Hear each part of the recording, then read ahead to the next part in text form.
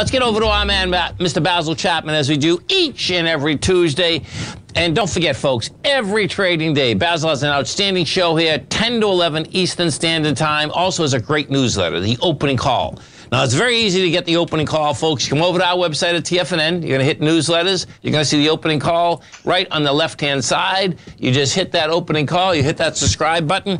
You can get the opening call for one month for $149. You get it for six months for 695, which is a savings of $199 at 22%. You can get it for a year for $11.95, which is a savings of $593 or 33%. Now, they all come with a 30 day money back guarantee, folks. Basil has approximately uh, 10 to 12 workshops that are out there also, so you'll really understand how the Chapman wave works and how you can ride that wave each and every day. Basil Chapman, what's going on? Hi, Tom. How are you? I'm doing great, man. Yourself? Very good. Thank you. Good. So, what do we got here? Okay, so we're looking at the Dow. On the left side is the daily chart, in the middle is the weekly, on the right is the monthly chart. And there are a couple of patterns that have been forming over the last week. One of the uh, one of the patterns that I've I've used for years and years is something that I call the stork leg formation.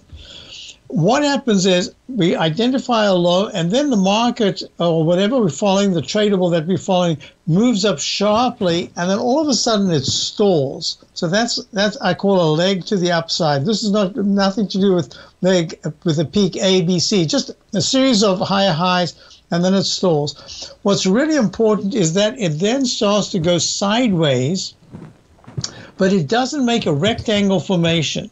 It makes a decisive oval pattern. And one of the reasons why I called it a stork leg, this goes back to when I used to hand chart, when I, I hand charted on engineering paper, and paper and pencil um, and ruler, I would get these lines and I would find that these trend lines, for, for some reason, would come back much later on. So I, I've always been a, a trend line follower and certain patterns. And the pattern that I identified was that when the price goes higher and higher and higher, and then it soars, and then it goes sideways, not in a rectangle. Rec- uh, there's a different connotation with a rectangle, but really within a, an oval pattern. It looks like a stalker, how it stands on one leg, it tucks the other leg under the body. Then you get this oval body. And then what happens is there's a sudden pop to the upside, and that's the neck. Now, the neck can comprise of a very short pop to the upside, and it's usually, this is only a peak A.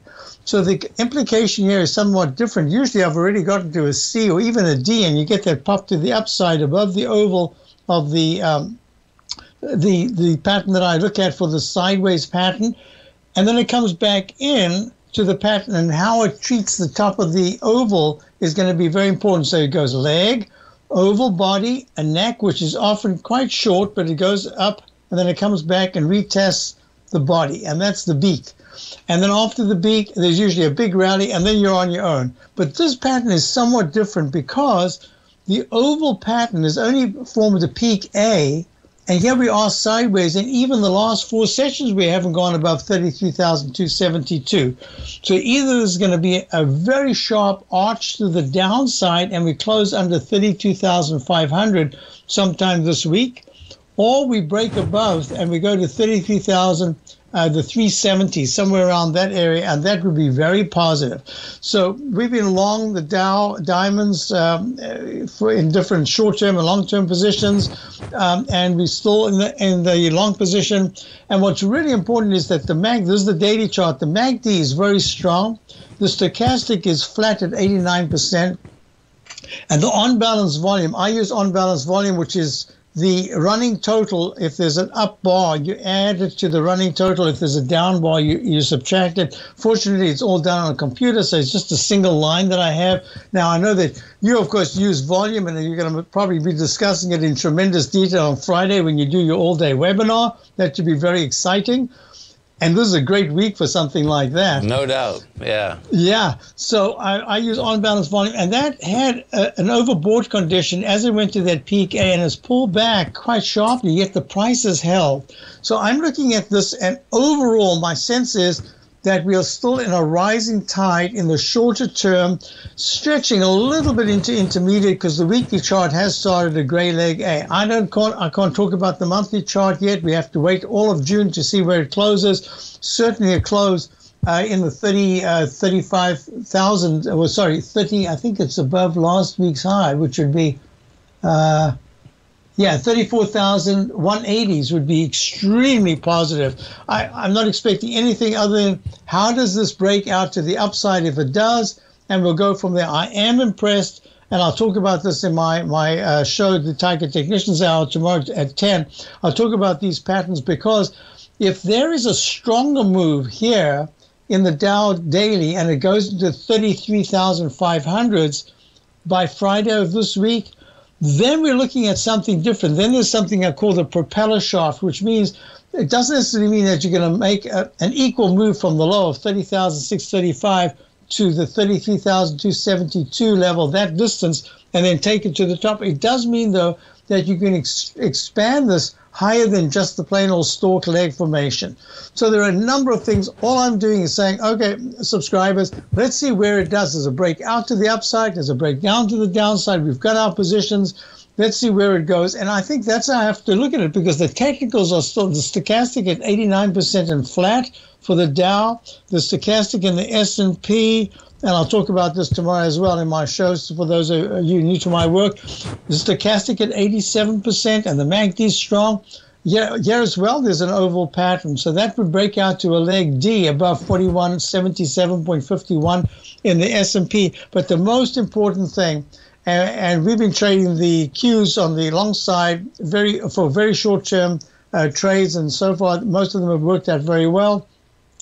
This is going to be very important. I want to see the Qs, the Index 100, trade together with the Dow. The Dow, if if we can get the percentage gains to match, that'll be the first time that the Dow is showing some some inner strength, and it hasn't shown that up until now. So it's really important. So overall, my bias is to the upside.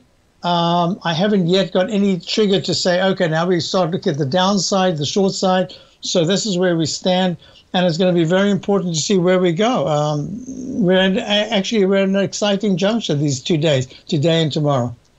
You're gonna love it, man. And listen, folks, it's very easy to get Basil's newsletter. Come over to our website at TFNN. You'll go into newsletters first hit newsletters. You're going to see the opening call on the left hand side, second one down, hit that baby, and you are off to the races. Yeah, this is going to be intriguing. It's going to be an intriguing summer in general. uh, yeah, I, I, think you're right. And also yeah. very selective because not everything, even when you think it's working, suddenly you get a failure. And I'm, I'm, I'm really excited that Target did what it did today without the market turning down and being 500 points down in the Dow. I think that was important. I think it was uh, telling us that we got to look at this market very selectively. For instance, Macy's is up, and yet Target is down. Yeah, and Macy's was up right from the get-go. Right, no doubt. You have a great one, safe one, Basil. We look forward to the program tomorrow. Thank you, Tom. Look forward to your webinar Absolutely. Thanks, man. Appreciate it.